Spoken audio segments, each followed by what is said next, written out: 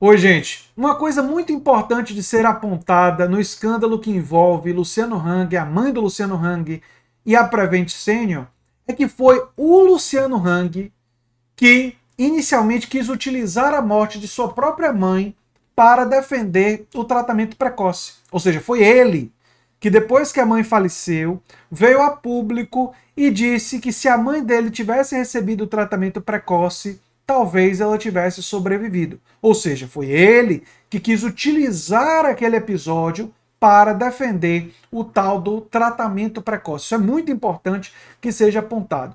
Mas agora, um dossiê entregue por 15 médicos traz informações de que o prontuário da mãe do Luciano Hang, assim como outros prontuários, foram fraudados e que, na verdade, essas pessoas receberam o tratamento precoce, receberam o tal do kit Covid e que isso não adiantou. É no, a, a mãe do Luciano Hang, inclusive, veio a falecer. E mesmo as pessoas que vieram, por acaso, se recuperar, as evidências científicas hoje, e já há bastante tempo, são bastante robustas, que se recuperaram não por causa desses medicamentos, se recuperaram porque um contingente significativo de pessoas se recupera. Não existem evidências de que esses medicamentos ajudam no tratamento da Covid.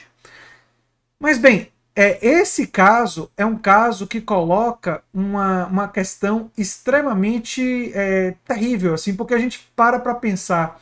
Enquanto os é, donos de colégios que quiseram que os alunos voltassem, os professores voltassem, todo mundo voltasse às aulas presenciais e eles ficassem em casa protegidos, é uma atitude moralmente absolutamente condenável é obviamente condenável do, do, dos donos do colégio, mas é uma atitude ainda que reconhece o risco da, do, do Covid.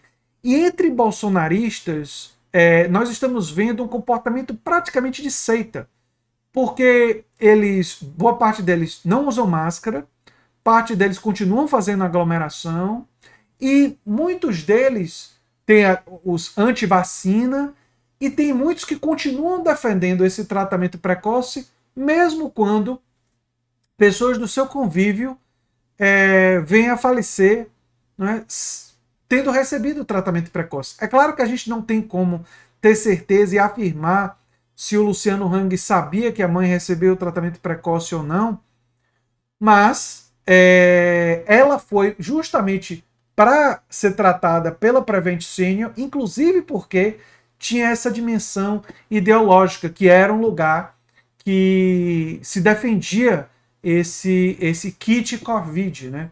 Teria sido um dos fatores que teria levado ela, inclusive, para lá. E mesmo assim, o Luciano Hang veio e disse, e continua insistindo, que ela não recebeu o tratamento, mesmo quando os é, 15 médicos que elaboraram o dossiê trouxeram isso a público e apresentaram na CPI da Covid. É, é, uma, é uma situação realmente de muita gravidade ver como o Luciano Hang tentou usar a morte da própria mãe para defender um tratamento que já sabemos há um bom tempo que não serve para Covid. Que não existem evidências científicas que servem, que esse tratamento serve. Isso leva o negacionismo científico, né, essa, esse comportamento de negar a realidade, a um lugar verdadeiramente perigoso, porque mostra a disposição de colocar a sua vida em risco, a vida dos seus familiares em risco. Né?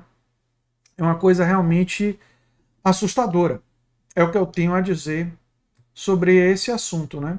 É, e é diferente, embora o comportamento dos donos de colégios que mandaram os professores de volta é um comportamento também condenável, mas são coisas condenáveis por motivos diferentes. Né?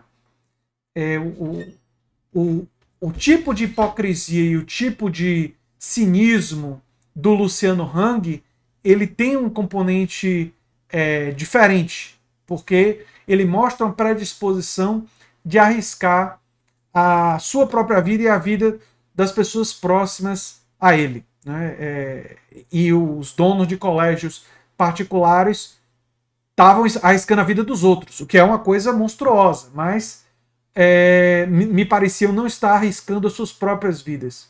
É uma coisa realmente que a gente deve estar refletindo sobre o impacto do bolsonarismo nas mentes das pessoas. Age como uma seita mesmo, uma coisa é, é, é, muito preocupante o impacto e como as pessoas usam isso do ponto de vista emocional, né? capazes de é, abandonar todo e qualquer tipo de racionalidade. Era o que eu tinha para falar sobre esse assunto. Eu sou André Teixeira Jacobina, o canal é a Nova Máquina do Tempo.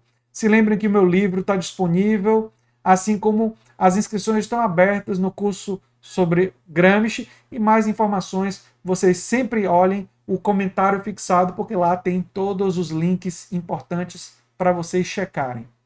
Abração e até o próximo vídeo. Tchau, tchau, gente.